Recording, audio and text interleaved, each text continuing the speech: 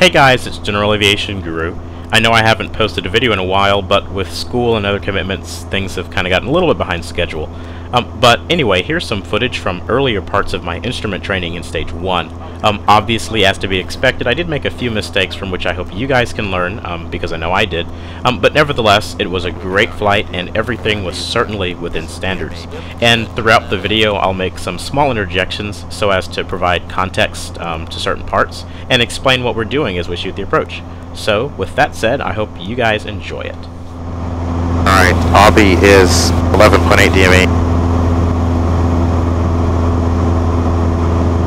If you didn't have DME, how else could you identify Obby? Uh, I could use the Columbus VOR, but the Columbus VOR is out of service. Or Uh, a localizer. localizer. Yep, so Obby could be 11.8 on the DME from uh, on the uh, 081 radial, or it could be the intersection of Tuskegee 081 and the localizer. Left downwind runway 36 hour. But having distance always helps. Alright, so that's coming live. Alright, so it's the ILS 36 today. That's uh, form 14149. Localizer frequency is 110.1. Um, as a matter of fact, I'm going to switch that and this and put the localizer. Good, throw the localizer in your backup here as well. So say something did happen to the Navcom 1, Right. Alright, and then uh, approach course is going to be 005. Auburn Travis Scott 5173 Victor, departing pattern to the northwest. Touchdown zone one elevation 759 feet. We're approaching our initial approach fix is obviously going to turn inbound. From Avi, we got 5.7 nautical miles to touchdown. Minimums are for the localizer approach 1140 MSL and three-quarter statute miles of visibility, which we have. If we do not have that, we'll go missed. Missed approach is straight ahead climb to uh, through your course here. and then uh, climbing right turn to uh, direction Lagrange VORTAC at 3000 and Yep. hold.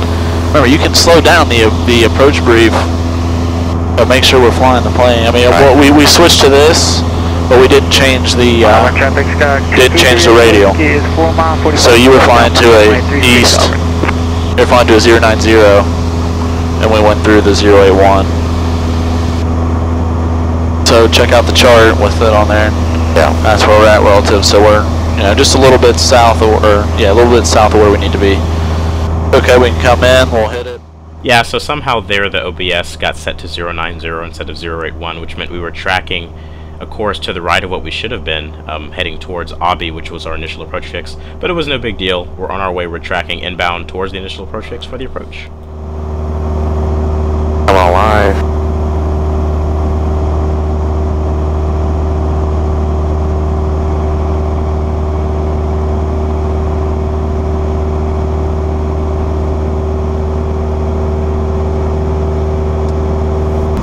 Now we're at Obbies. Now what are we doing? Turning left for the Awesome. localizer. Well, let's let's go right, and we'll go out and still do a procedure turn. So this was definitely the biggest blooper on my part for the entire flight. If you look at the approach plate, you'll see how we're approaching Obby on the Tuskegee 081. Notice that there is a procedure turn for the approach outbound on the localizer from Obby. Also notice that nowhere on the chart does it say no PT for our entry. Thus, we are required to execute the procedure turn. Obviously, it would seem that one would want to turn inbound immediately, especially since the inbound course is a shorter turn than the outbound. But nonetheless, the chart requires a procedure turn, which is something that I definitely misread in this instance. We've still got full scale deflection.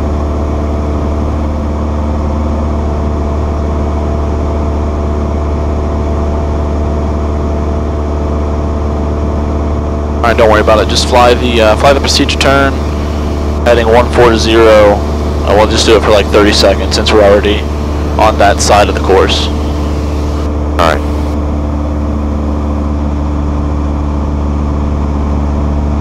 If we do a 140, it'll be a left turn back to 320 inbound.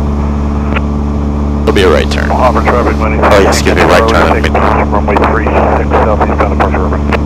Right turn. Or complete the complete the arrow. Yeah, That's how I think of it with the barb. Yeah. And it's uh it's a shorter path to the localizer if you turn right. Right. Well, now we'll fly the reciprocal, so at 320, we'll fly that back in. Number 716 Yankee Charlie rolling runway 36 will be uh, a left downwind departure over the top, southeastbound over.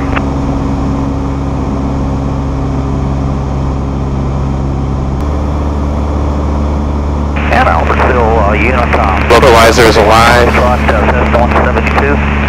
And we're 10 miles to the south of the industrial advisor. What's our final approach fix? The final approach fix is Obby. We're shooting an ILS. 6 Yankee Charlie departing area southeast Auburn. The final approach fix on every ILS. We'll be using runway 5. By slip intercept. There we go. It, it, it should happen at Obby, but I did it with another student. Well, If you fly higher, like say, because I mean it just says you have to be above 2600, right? 2600 is the lowest you can be.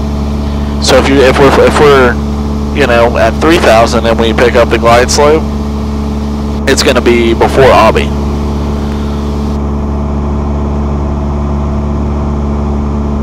But a good practice is once we do cross Obby, to uh, start a time in case we lose our glide slope, Right. we could still fly a localizer.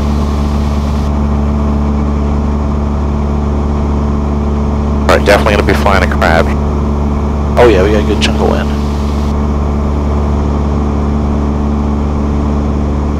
That's, that's a pretty good angle right there. Got my fighter jet's nose right on the course there. Auburn traffic turning 275.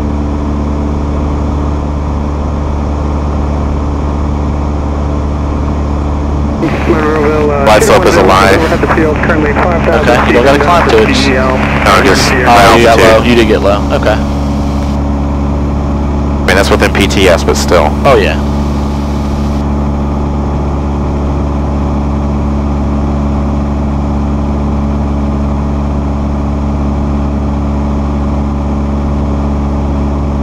Auburn traffic 5173 Victor is 13 miles to the southwest. All right, there's final approach fix. Alright.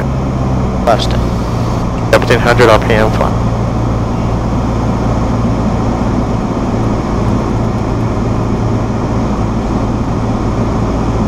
Uh, what time's usually? They're not, uh, we're not at Obby. And Monroeville County, shooter 101 is high left This space for runway 3 in Monroeville. Actually, Hey Lee, up.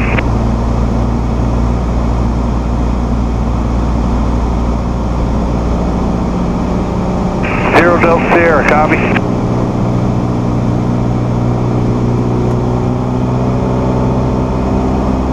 Traffic 450 Delta Sierra is west crosswind 36, be departed the pattern to southeast last call.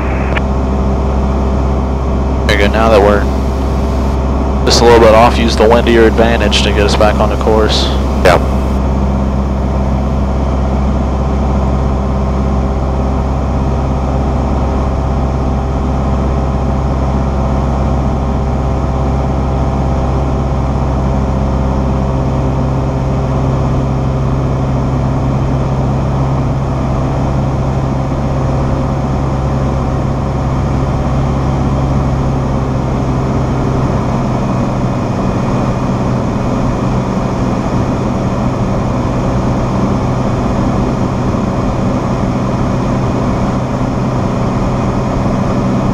Over traffic sky, 2 is Mike Echo 5 nautical miles, 24 nautical miles, ILS 36, over.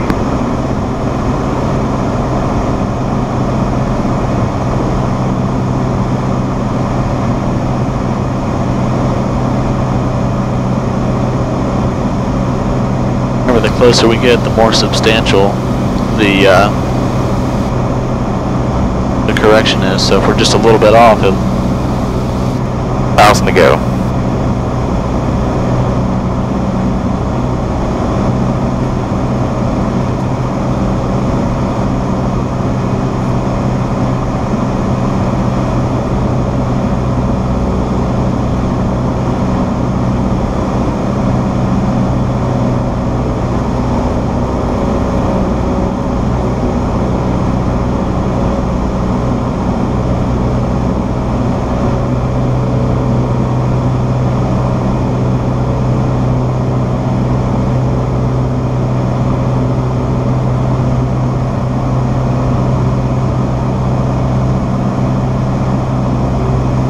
Four Travis Scott 5173 Victor is 10 miles to the southwest, 4,000 feet inbound Auburn. And that wind is starting to disappear as I get lower here. Oh.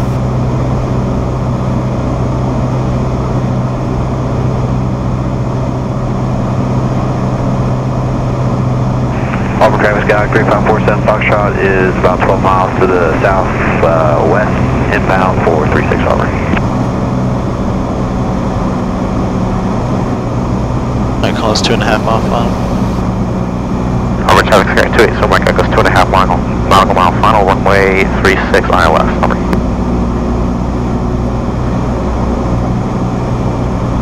Auburn Travis Scott, 3547 Foxtrot is about 11 miles to the northeast at uh, 4,000 feet inbound for 36 Auburn.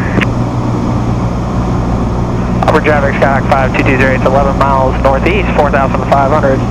Slow flight Auburn.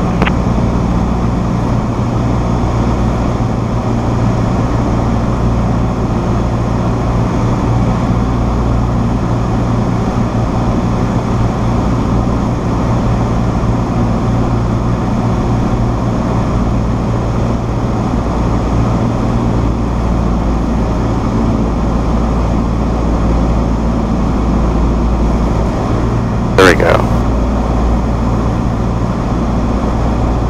We got 100 to go. I go and look up. Okay. Uh, Alright, runway's in sight, landing. Altitude.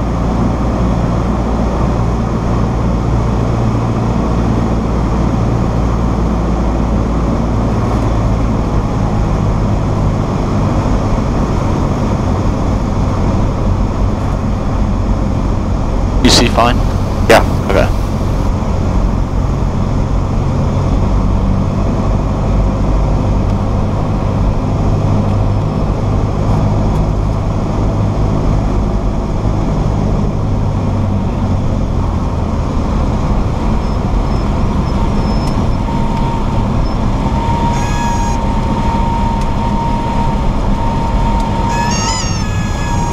Ooh!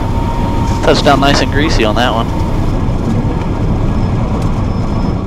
So I decided to let the glide slope descent play all the way through so that you guys could see the focus that goes into flying a precision approach. Um, you guys definitely got to see my successes and failures, so I hope this video was even in the slightest bit helpful.